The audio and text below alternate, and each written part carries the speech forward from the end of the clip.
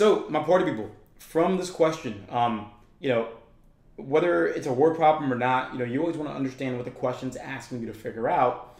And the first thing you want to do is exactly that. Let's read the question. So it says, what is the x coordinate when y equals 4?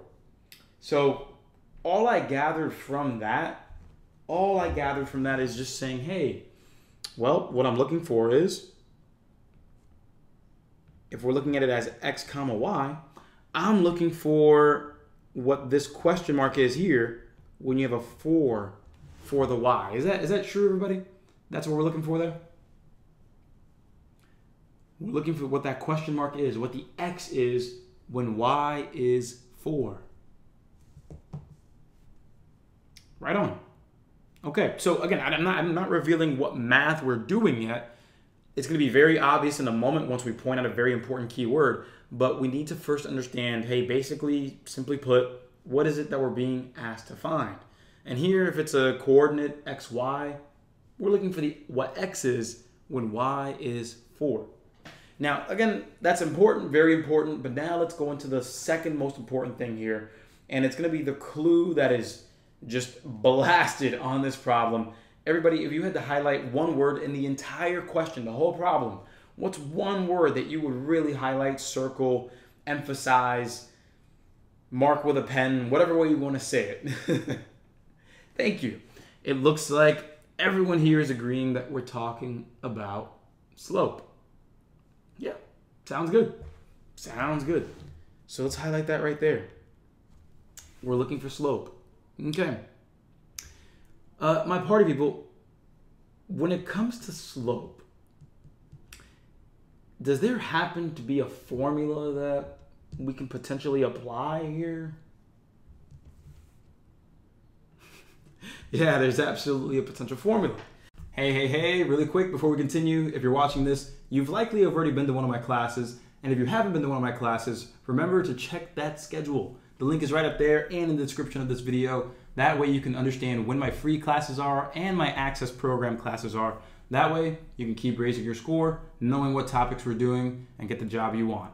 So again, click there or in the description to see when the classes are and join one for free. I'll see you there, my party people. Let's get back to the action. Now, a couple of us here might be thinking one of two things. Some of us here might be thinking that we're dealing with a y equals mx plus b problem. And on the other hand, some of us might be thinking that we're using this formula here. m equals y2 minus y1 over x2 minus x1. So let's mark these out here. Formula number one and formula number two. So which of these formulas do you think best applies to this problem? Because both of them use slope, right? The first one has slope right here. And the second one, slope is by itself. Okay, so why are you saying, I see the majority of us, I see that the majority of us here are saying number two. Why is that? Why is the second formula the best one to go with? Why is that? Who can tell me why?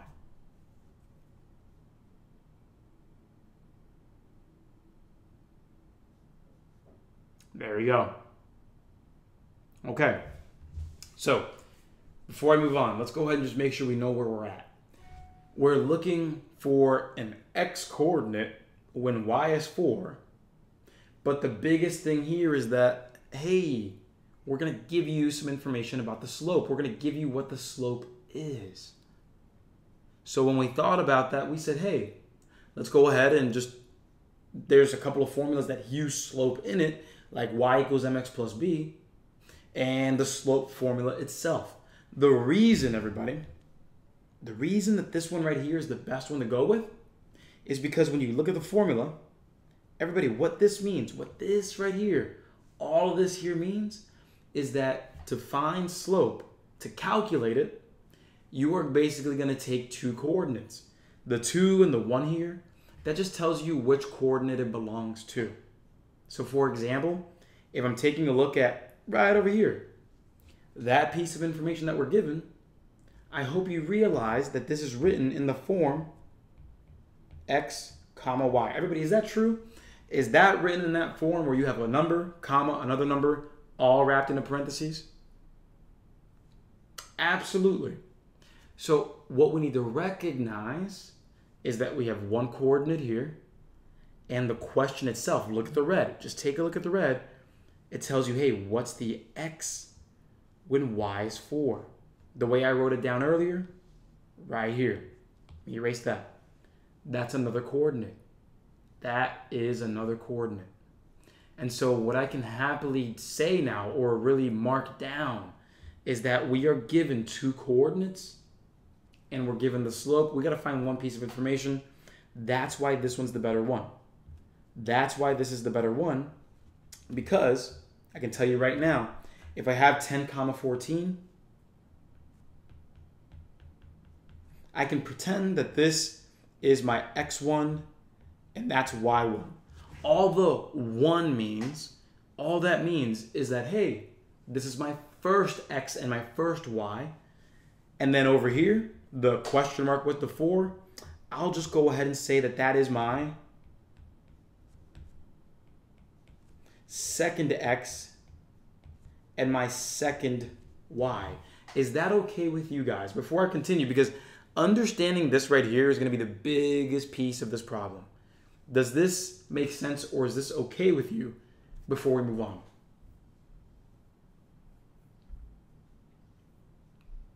Okay.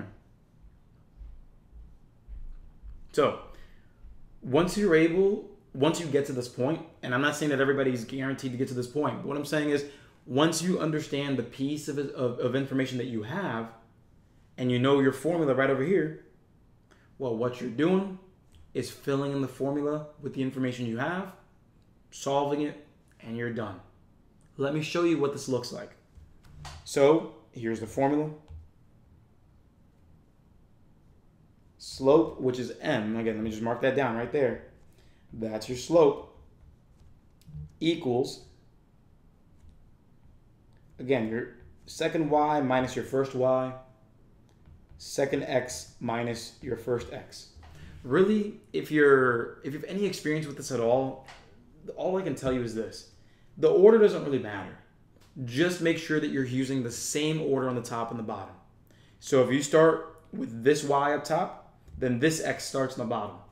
If this y starts up top, then this x starts on the bottom. Just make sure you're lining it up the same way and you're fine. And you're subtracting. But once we're here, all we got to do, like I said, fill everything in and we're good. My party people, what did this problem say uh, was the slope? What was the slope? Ah, it was 1. So again, like I said, what we're doing now is just filling in this formula solving the formula. We have the slope right here. The slope is 1, so I'll plug that right in. And then what I'm going to do, just to make sure that I don't make a mistake, this is something that you should probably try to do too. Whenever you're filling in formulas, do your best to make sure you are copying and pasting exactly as it is. Don't get confused by negatives. Easiest way to get confused. So let me go ahead and just fill this right here. And I'm going to put the subtraction sign already right there. Everyone, what number am I filling in for y2?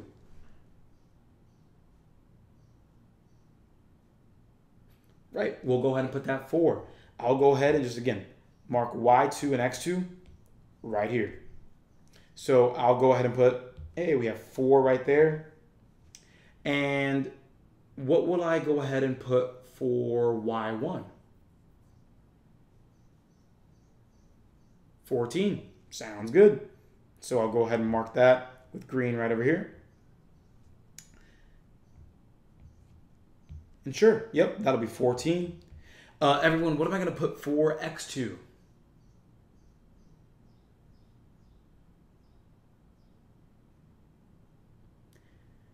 Yeah, we can put a question mark or we can put an x there. That's what we're looking for. We're looking for what that second x is. And so, with that said, hey, that's fine. Just leave it as X. It's all good. Leave it as X. And then what am I putting in for X1?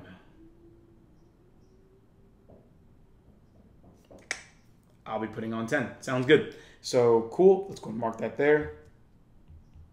Boom. So before I continue, I just want to make sure that you guys are with me, especially those who are not quite commenting right now. Do you understand that all we did was figure out, hey, this formula applies to what we're doing, number one. And then number two, we are just taking the information we have and appropriately and correctly translating it onto the formula. Does that make sense to you so far? We just plugged in what we had the right way. That's all we did. Cool. Now this might this this part up next might feel like the hard part where we're actually solving.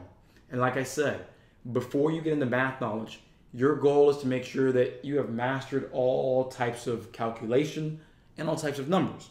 So if at any point you feel a little lost with the work that I'm doing, just make sure you understand, hey, just got to work on my basics here. I can do that. So let's solve this. Is there anything we can do here to clean this up before we continue on? Is there anything that we can just clean right up? Yeah, that's right. Landa, Jocelyn, we can go ahead and subtract the top. But let's make sure we know how to handle negatives, right? Uh, what is 4 minus 14 going to be? Correct. That's going to be negative 10. So let me go ahead and just move this over here. And just like this free YouTube video right here, my Math 40 people, I have a free practice test that comes with video solutions so you can learn from every mistake and a free math class every week, once a week for two hours. Click the link over here to sign up and get started and keep raising that score. Let's get back to the action. So this will end up becoming again uh, 1 equals, and so again, 4 minus 14. That's the same thing as 14 minus 4, but it's in the negative direction because you're subtracting more than what you have. So 4 minus 14, that's a difference of 10. But it'll be negative 10 because you're subtracting more than you have. And so that'll be negative 10 up top. And on the bottom, we still have that x minus 10. So now that we're here, there are two very, very approachable ways to do this. Number one, it's going to be the eyeball test. Everybody, what this is saying is it's saying, hey, negative 10 divided by whatever this is, is going to be 1. My party people, quick question. What's the only way that you can divide a number and get 1? What's the only way that can happen? What's the only way you can divide a number and get one. Exactly. Dividing it by itself. Thank you, Landa. Thank you, Indy. Thank you, Zoom user. If you want to tell me your name, I'll switch your name up there. But yeah, if you divide a number by itself, you get one. Think about it. 5 divided by 5, that's 1. 25 divided by 25, that's 1. 92 divided by 92, that's 1. So if we have negative 10 up top, what does the bottom have to be then?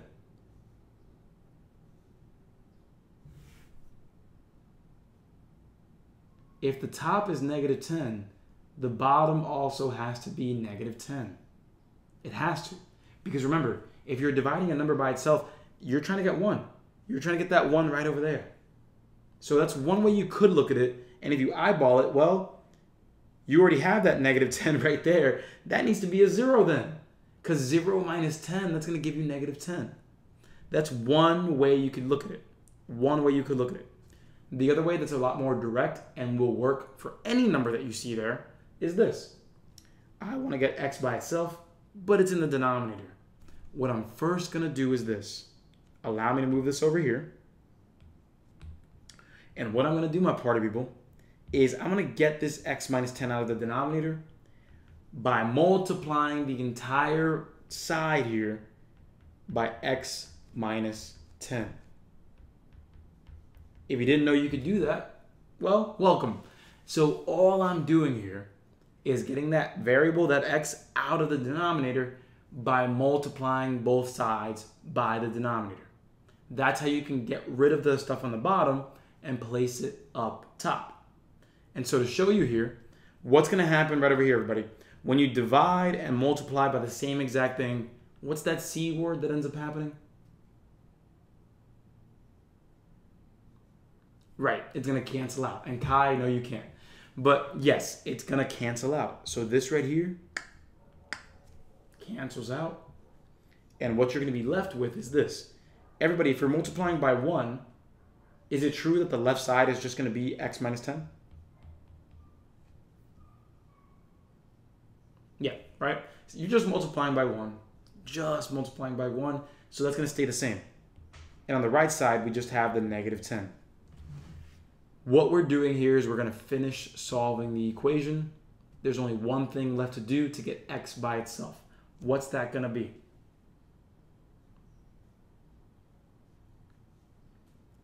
And be specific here. Don't just give me, yeah, thank you, Kevin. Thank you, Kevin. We're going to add the 10 because if we notice, we're subtracting 10 right now. I got to get rid of a taking away 10. The opposite of taking away 10, adding 10, but make sure that you mention doing it to both sides. So that's going to be right here, plus 10, plus 10, booyah. That's going to cancel on the left, and it's going to cancel on the right. And what we end up getting is x equals 0. We end up getting x equals 0. And that's going to be the answer. And I'm going to zoom out so you can take a screenshot if you'd like to. But what the answer is going to be, uh, what the answer is going to be here is C zero. And for those of you who have gone through your mental math work, if you know slope, you might actually be able to get this problem done without putting your pencil to paper at all. Here's what I mean. Again, this might be a little bit more of an advanced technique, but just listen up if you'd like to stay curious. what I noticed was that, hey, the slope is 1. So what that means is every time I go over by 1 on the x, I go up 1 on the y. If you look at where we were, 14 on the y, down to 4 on the y, that tells me that we went from 14 to 4. I'm going back 10. And just like I said earlier, a slope of 1 means you go up 1 on the x, you go up 1 on the y. So if I go down 10 on the y, I'm going down 10 on the x. 10 minus 10, 0, done. Did that make sense to anybody out there?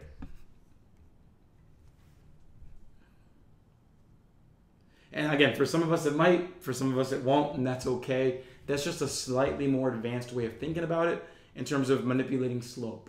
That's all it was. Yeah, so what happened to the one, Fatmata, was that, hey, that x minus 10 times 1 right over here. Remember that, excuse me. Remember that anything times 1 is going to stay the same. So here, x minus 10 times 1, it's just going to be x, time, x minus 10. It's just going to be x minus 10. I got you, Shane, and see Sia, I got you there too. So for those of you, gotcha.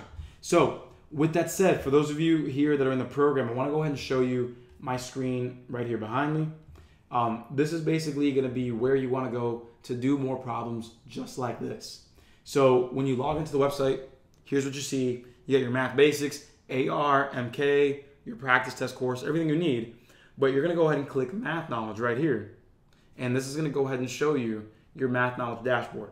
It's going to show you everything you've completed. This is a dummy account, so you're going to see a bunch of X's but your progress is going to be tracked. For this specific problem, what you'll do is you'll go for right over here, Unit 9. Unit 9, graphing lines and calculating slope. That's where you're going to work on. So when you click it, you can go ahead and do a time speed drill, or you can look at lessons with videos and worksheets. Either way, you got what you need here. And right here, you can practice problems that we've been doing, calculating slope, finding missing coordinates, all of that while being timed. That way you can learn to work under pressure. So, with that, do you understand where to go? Math knowledge, unit 9 for that specific problem that we just did. And as always, my party people, thanks for watching. You can subscribe with that button right there, and you can also see a link to a video just like this one right up there. But most importantly, if you want the program and you want to raise your score the right way, every step of the way with my support, there's that link at the bottom left. Go ahead, click that link, watch the video on how the program works, subscribe, and raise your score.